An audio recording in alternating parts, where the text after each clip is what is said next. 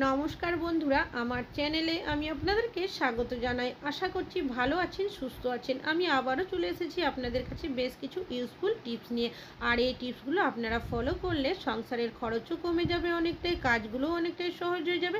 তাছাড়াও নিজের জন্য সময়ও বাঁচিয়ে নিতে পারবেন। তেমনই কিছু ইউজফুল টিপস শেয়ার করব। চলুন দেখে নেওয়া যাক আজকের প্রথম টিপসটা আমাদের প্রত্যেকেরই বাড়িতে কিন্তু মিষ্টি নিয়ে আসা হয়ে থাকে। বিশেষ করে এই রস জাতীয় যে মিষ্টিগুলো থাকে, যদি কোনো কারণে খাওয়া না হয়, সেক্ষেত্রে দেখা যায় ফ্রিজে রাখলেও অনেক সময় মিষ্টি কিন্তু টক হয়ে যায়। তবে এখান থেকে মিষ্টির রস চেপে যদি আমরা মিষ্টিটা অন্য কোনো পাত্রে রাখি, সেক্ষেত্রে মিষ্টি ভালো থাকলেও রস জাতীয় মিষ্টি, রস ছাড়া কিন্তু খেতে একদমই ভালো লাগে না। তবে আপনারা যখনই বাড়িতে রস জাতীয় কোনো মিষ্টি নিয়ে আসবেন আর যদি না খেয়ে থাকেন, রেখে দেন, সেক্ষেত্রে দিয়ে দেবেন সামান্য পরিমাণের লবণ।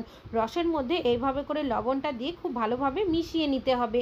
এবার যদি আপনারা এই রস জাতীয় মিষ্টিটা রাখেন, দেখবেন খুব তাড়াতাড়ি কিন্তু এই মিষ্টি নষ্ট হবে না, আরও বেশ কিছুদিন থাকবে। ভালো লাগলে লাইক করবেন। এখন চলে যাচ্ছি পরবর্তী টিপস এখানে নিয়েছি। জুতো জুতো যখন আমাদের নতুন কিনে নিয়ে আসা হয় আর নতুন জুতো পরে যখন আমরা হাঁটাহাঁটি করি, দেখবেন জুতোর পরার পর কি হয়, পায়ের যে গোড়ালির সাইডটা থাকে, অনেক সময় অনেকেরই লাল হয়ে যায়, আবার কখনো কখনো দেখা যায় পায়ের মধ্যে ফোসকাও পড়ে যায়, তখন জুতো পরতে অনেকটাই অসুবিধা হয়। তবে আপনারা যখনই নতুন জুতো পরবেন, কীভাবে পরবেন? আমি এখানে নিয়েছি ডবল সাইজের টেপের টুকরো। এই যে জুতোর যে জায়গার মধ্যে আমাদের গোড়ালিটা থাকে, তার মধ্যে এইভাবে টেপের টুকরোটা দিয়ে আটকে দিচ্ছি। এইভাবে যদি আটকে দেওয়া হয়, সেক্ষেত্রে দেখবেন নতুন জুতো পরার পর পায়ের যে গোড়ালির মধ্যে ঘষা যে লাল হয়, সেটাও হবে না। এমনকি পায়ের মধ্যে ফোসকাও পড়বে না। আশা করছি আপনাদের এই টিপসটিও অনেক বেশি কাজে আসবে। ভালো লাগলে লাইক করবেন। এখন চলে যাচ্ছি পরবর্তী টিপ কম বেশি কোনো না কোনো রান্না বান্না করে থাকি। তবে অনেক সময় দেখবেন কাজের তাড়াহুড়োর জন্য হোক কি ভুলবশত আমরা যদি রান্না করা খাবারের মধ্যে লঙ্কা একটু বেশি দিয়ে দিই, সেক্ষেত্রে দেখা যায় খাবারটা কিন্তু ঝাল হয়ে যায়। যাদের বাড়িতে ছোট বাচ্চারা আছে, তাদের কিন্তু সেই খাবার খেতে অনেকটাই অসুবিধা হয়। তো আপনারা কি করবেন? বেশ কিছুটা আটা মেখে বল বানিয়ে তারপর খাবারের মধ্যে দিয়ে দিয়ে কিছু সেকেন্ড ফুটিয়ে নেবেন। এতে কি হবে? রান্না করা খাবারের মধ্যে যে অতিরিক্ত ঝাল হয়ে যায়, সেটা কিন্তু আটার বলই অ্যাবজর্ব করে নেবে। তারপর কিছু সেকেন্ড পর এই বলগুলো আপনারা তুলে নেবেন। আপনারা যদি এই খাবারের মধ্যে আটার বল এইভাবে দিতে না চান, সেক্ষেত্রে আরও একটা কাজ করতে পারেন। দিয়ে দেবেন সামান্য পরিমাণের চিনি আর দিয়ে দেবেন এক থেকে দু টুকরো টমেটো। টমেটোর পরিবর্তে আপনারা এখানে হাফ চামচের মতো লেবুর রসেরও ব্যবহার করতে পারেন। এতে কি হবে? আমাদের খাবারটাও খেতে আরও বেশি ভালো লাগবে আর যে ঝালটা থাকবে অতিরিক্ত সেটা কিন্তু চলে যাবে। আশা করছি এই টিপসটাও আপনাদের অনেক বেশি কাজে আসবে। ভালো লাগলে লাইক করবেন। এখন চলে যাচ্ছি পরবর্তী টিপসে। আমাদের প্রত্যেকেরই বাড়িতে কিন্তু কম বেশি গোটা মশলা আমাদের নিয়ে আসা হয়ে থাকে।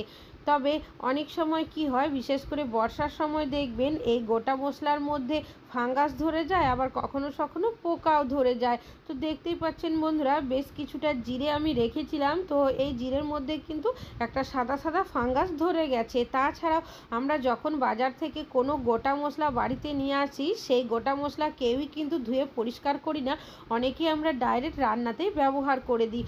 তো এইভাবে কিন্তু গোটা মশলা ব্যবহারও করা উচিত নয়। অনেকটাই নোংরা কিন্তু থাকে। তো একটা পাত্রের মধ্যে নিয়েছি, বেশ কিছুটা পরিমাণের জল এবার যে জিরেটা রেখেছি আমি সেটাকে এই জলের মধ্যে দিয়ে দেবো তার তারপর খুব ভালোভাবে আমি গোটা জিরেটাকে চটকে ধুয়ে নেব। এইভাবে করে ধুয়ে নেওয়ার পর দেখতেই পাচ্ছেন কতটা নোংরা ছিল এই জিরের মধ্যে। এবার নিয়ে নেব একটা পাত্র আর একটা ছাকনি। তো এই যে জিরেটা রয়েছে সেটাকে আমি প্রথমে ছেঁকে নিচ্ছি। আর দেখতেই পাচ্ছেন বন্ধুরা, গোটা জিরেটা ধুয়ে নেওয়ার পর কতটা নোংরা ছিল। এইভাবে করেই কিন্তু আমি আরও দুই থেকে তিনবার ধুয়ে এইভাবে করে ছেঁকে নিচ্ছি।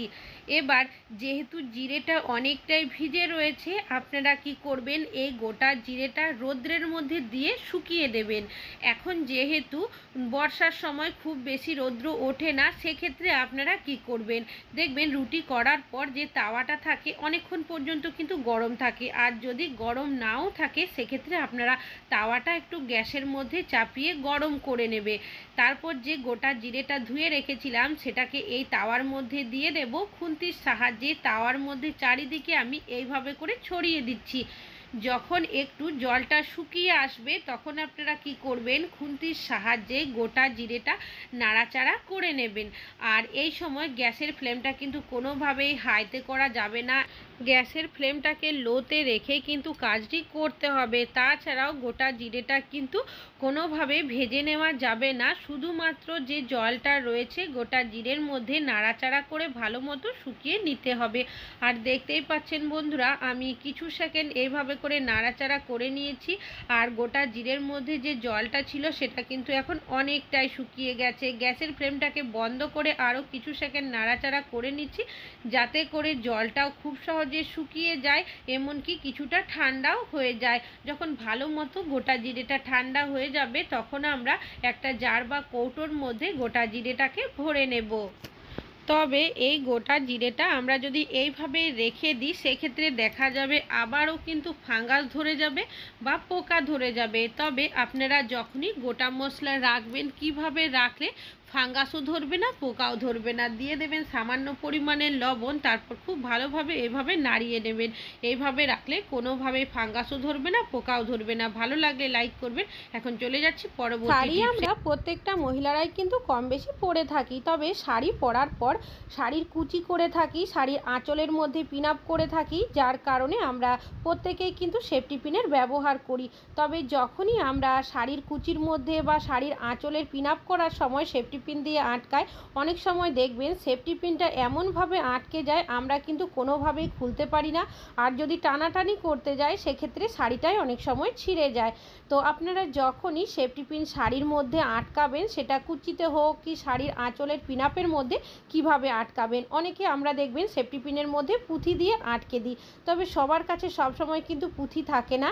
সেক্ষেত্রে আপনারা একটা টিপ নিয়ে নেবেন। টিপ কিন্তু আমাদের প্রত্যেকেরই বাড়িতে থাকে, ছোট হোক কি বড়। প্রথমে এই টিপটাকে আমি এই সেফটি পিনের এইভাবে করে একটু ফুটো করে পরিয়ে নেব। তারপর যদি আপনারা এই সেফটি পিনটা শাড়ির কুচির মধ্যে, শাড়ির আঁচলের পিনাপের মধ্যে আটকান, সেক্ষেত্রে দেখবেন কোনোভাবেই কিন্তু সেফটি পিনটা শাড়ির মধ্যে আটকে যাবে না। কেন কি টিপের মধ্যেই আটকাবে, যার কারণে টানাটানি করে খুলতেও হবে না। ভালো লাগলে লাইক করবেন। এখন চলে যাচ্ছি পরবর্তী টিপসে আমি এখানে নিয়েছি বেশ কিছুটা পেঁয়াজের খোসা। পেঁয়াজ আমরা প্রত্যেকেই রান্নাবান্না করার ক্ষেত্রে ব্যবহার করে থাকি। তবে পেঁয়াজের যে খোসাগুলো থাকে, সেগুলো কিন্তু সকলেই ফেলে দিই। পেঁয়াজের যে বোটার অংশ বা পাতলা যে পেঁয়াজের অংশ থাকে, সেগুলো কিন্তু অবশ্যই ব্যবহার করতে হবে। গ্যাসের মধ্যে একটা সসপ্যান বসিয়েছি, এর মধ্যে দিয়ে দিচ্ছি এক গ্লাস মতো জল। তারপর দিয়ে দেব যে পেঁয়াজের খোসাগুলো রেখেছিলাম সেগুলো।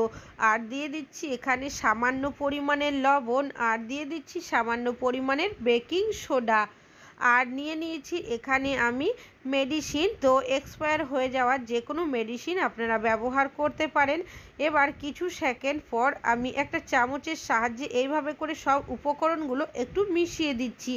এবার এক মিনিট আমি এটাকে খুব ভালোভাবে ফুটিয়ে নেব, যাতে করে পেঁয়াজ, লবণ, বেকিং সোডা, এমনকি এক্সপায়ারি ওষুধটা খুব ভালোভাবে মিশে যায় আর একটা সলিউশন তৈরি হয়ে যায়। দেখতেই পাচ্ছেন বন্ধুরা, এক মিনিট কিন্তু আমি এটাকে ফুটিয়ে নিয়েছি, খুব ভালোভাবে ফুটেও গেছে জলের কালারটাও কিন্তু চেঞ্জ হয়ে গেছে।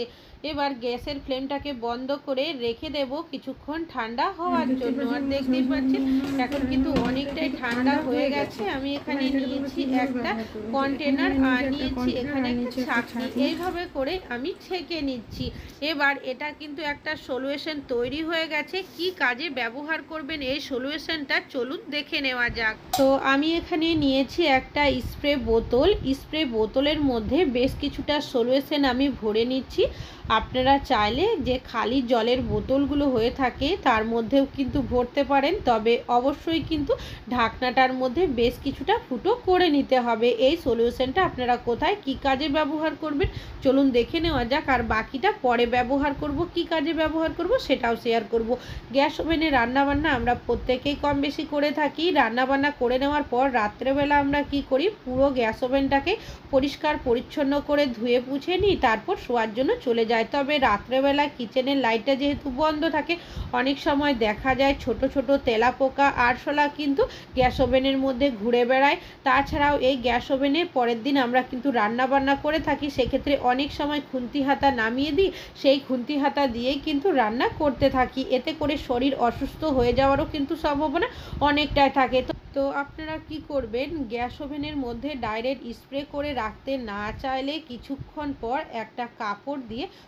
খুব ভালোভাবে পুছে নেবেন। সেক্ষেত্রে দেখবেন এই সলিউশনের মধ্যে যে উপকরণগুলো দেওয়া হয়েছে, যার কারণে একটা স্ট্রং গন্ধের তৈরি হবে আর এখানে কিন্তু কোনোভাবে তেলাপোকা, আরশোলা, টিকটিকি ঘোরাঘুরি করতে পারবে না। তাছাড়াও এই সলিউশনটা আপনারা চাইলে কিচেনের দেওয়ালের মধ্যেও কিন্তু দিয়ে রাখতে পারেন। অনেক সময় এতে কি হবে? অনেক সময় দেখবেন কিচেনের দেওয়ালের মধ্যে টিকটিকি ঘোরাঘুরি করতে দেখা যায়। এই যে সলিউশনটা বানিয়ে রেখেছিলাম, একসাথে মিশে যাওয়ার কারণে একটা স্ট্রং সলিউশন তৈরি হয়ে যাবে। এর গন্ধের কারণে তেলাপোকা, আরশোলা, টিকটিকি কোনো কিছুই কিন্তু আসবে না। তাছাড়াও বাড়িতে যেখানে দেওয়ালের ঘড়ি লাগানো থাকে, সেখানেও দেখবেন অনেক সময় টিকটিকি বসে থাকতে দেখা যায়। চারপাশে এভাবে যদি সলিউশনটা দিয়ে রাখেন, সেক্ষেত্রে গন্ধের কারণে কোনোভাবেই কিন্তু টিকটিকি এখানে আসবে না। আশা করছি এই টিপসটাও আপনাদের অনেক বেশি কাজে আসবে। ভালো লাগলে লাইক করবেন। এখন চলে যাচ্ছি পরবর্তী টিপসে। আমরা প্রত্যেকে কিচেন সিঙ্কের কম বেশি ব্যবহার করে থাকি, তবে অনেক সময় রাত্রেবেলা দেখা যায় এই ছিদ্র দিয়ে তেলা পোকা আরশোলা ওপরে উঠে আসে, যার কারণে কিচেন সিঙ্কটাকে তো নোংরা করে দেয়ই, পুরো কিচেনটাকেই নোংরা করে দেয়। তো আপনারা এইভাবে সলিউশন বানিয়ে রাত্রেবেলা যদি দিয়ে রেখে দেন, গন্ধের কারণে দেখবেন কোনোভাবে তেলা পোকা আরশোলা কোনো কিছুই কিন্তু পোকামাকড় সিঙ্কের মধ্যে আসছে না। তো আপনারা যদি চান এই ছিদ্রটা কোনো কিছু দিয়ে কিন্তু আটকেও দিতে পারেন। সকালে পরিষ্কার জল দিয়ে ধুয়ে দেবেন। আমরা প্রত্যেকেই কিন্তু টয়লেটের কম বেশি ব্যবহার করে থাকি, তবে কারও পক্ষে রোজ রোজ কিন্তু সম্ভব হয় না টয়লেটটা পরিষ্কার করা। টয়লেটটা যদি মাঝে মধ্যে পরিষ্কার করা না হয়, সেক্ষেত্রে দেখা যায় টয়লেটের মধ্যে কিন্তু নানা ধরনের জীবাণু ভাইরাস থেকে যায়। অনেক সময় আমাদের শরীর অসুস্থ হওয়ারও সম্ভাবনা থাকে। তো বাকি সলিউশনটা আমি এইভাবে করে কোমরের মধ্যে দিয়েছি আর কিছুটা সাইডে দিয়ে দিলাম। এইভাবে করে আপনারা সারা রাত দিয়ে রেখে সকালবেলা আপনারা কি করবেন? টয়লেটটাকে খুব ভালোভাবে জল দিয়ে পরিষ্কার করে নেবেন, এমনকি টয়লেটের কোমরের সাইডটাও কিন্তু ভালোভাবে পরিষ্কার করে নিতে হবে। তাহলে বন্ধুরা, আশা করছি আপনাদের এই টিপসটিও অনেক বেশি কাজে আসবে। টয়লেটে হাত না দিয়ে আপনারা পরিষ্কার, পরিচ্ছন্ন জীবাণুমুক্ত করে নিতে পারেন। এখানে যেহেতু পেঁয়াজের খোসা বোটার অংশ, এমনকি লবণ, তাছাড়াও দিয়েছি বেকিং সোডা, এমনকি এক্সপায়ারি ওষুধ। এগুলো একসাথে হয়ে যাওয়ার কারণে একটা স্ট্রং সলিউশন তৈরি হয়ে যায়। ভালো লাগলে লাইক করবে এখন চলে যাচ্ছি পরবর্তী তো বন্ধুরা আমি দেখতে পাচ্ছেন? এখানে আমি এখানে নিয়েছি একটা প্লাস্টিক বা পলিথিন। এই ধরনের পলিথিন আমাদের কম বেশি অনেকেরই বাড়িতে থাকে। যখন কোনো কিছু বাজার থেকে নিয়ে আসা হয় তখন কিন্তু এই ধরনের প্লাস্টিক তার সাথে দেওয়া হয়। তো এই প্লাস্টিকটা আপনারা কীভাবে কি কাজে ব্যবহার করবেন? আমি প্লাস্টিকটাকে খুব ভালোভাবে জল দিয়ে ধুয়ে নেওয়ার পর শুকিয়ে নিয়েছি। এর মধ্যে দিয়ে দিচ্ছি আমি পরিমাণ মতো আটা। আপনারা আপনাদের পরিমাণ মতো আটা দিয়ে দেবেন। অনেক সময় দেখবেন আমরা যখন রুটি বানাই রুটি বানানোর আগে আটাও কিন্তু আমাদের মেখে নিতে হয়। তবে কখনো সখনো দেখা যায় হাত তো আমাদের কেটে যায়, হাতে ব্যথা হয়ে যায়। তাছাড়াও দেখা যায় আমরা হাত দিয়ে যদি কোনো কারণে আটা মাখতে না পারি বা সাহায্য করার মতো আমাদের কেউ না থাকে, সেক্ষেত্রে আপনারা এই প্লাস্টিকের সাহায্যে খুব সহজে আটা মেখে নিতে পারেন। আমি পরিমাণ মতো এখানে লবণ দিয়েছি আর দিয়েছি কিছুটা মতো সাদা তেল।